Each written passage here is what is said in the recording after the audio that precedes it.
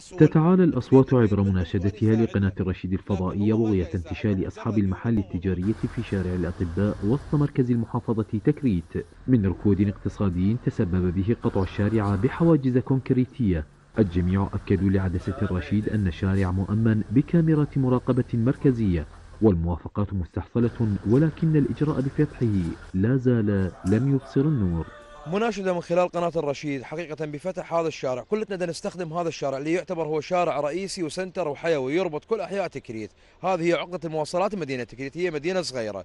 هذا يربط اللي يطلع لبغداد اللي يطلع باتجاه بيجي اللي يطلع باقي أحياء المدينة فضلا عن إنه كونه مركز تجاري رئيسي وحيوي. صار بحادث عرضي في يوم من الأيام وقطع هذا الشارع بهذه الصبات أثر على أصحاب الأعمال اليومية. فإحنا نطالب من رئيس مجلس المحافظة والمحافظ صلاح الدين ومن القيادات الأمنية المحترمة اللي هي واقفة بجانب المواطن. من خلال قناتكم قناة الرشيد اللي هي قريبة من المواطن بضرورة فتح هذا الشارع وعودة حركه الحياة. وشنو استفادتك انت ما تدري بس إحنا منو؟ داعي منو؟ مسؤولين كلهم قاعدين بالكراسي مالتهم ومخلينا هيك. سدوا الشارع. والله. قالوا خلوا كاميرات. خلينا كاميرات. هذا تشوفوها كلكم.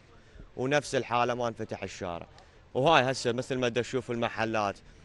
لا مستفتحين ولا ولا بيع ولا سوق أصلا. سوق ميت يعني. الحركه بشارع الاطباء انتهت نهائيا. يعني هو شارع الاطباء أساس بتكريت. يعني العالم تروح وترجع على السوق على الطبيب ومن سدوه هم صار ازدحامات والبنزينات خلصن وفان حظنا ودهنا. الأمنيون في المحافظة بينوا أن توقف الإجراء يأتي على خلفية ما شهدته المحافظة مؤخرا من تحركات للخلايا النائمة. مؤكدين أن افتتاح هذا الشارع مسألة وقت ليس إلا. حكومة المحافظة بال... وبالاتفاق مع اللجنة الأمنية هناك موافقات بصدد افتتاح هذه الشوارع.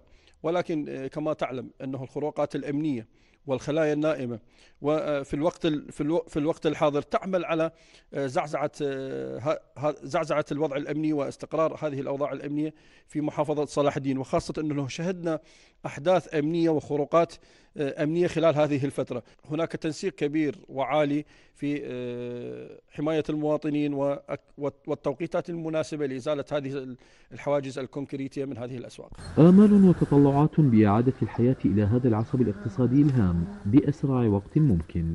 إجراء يفتقر إلى مبرر منطقي يتناسب مع متقلبات ومتطلبات الوضع في المحافظة.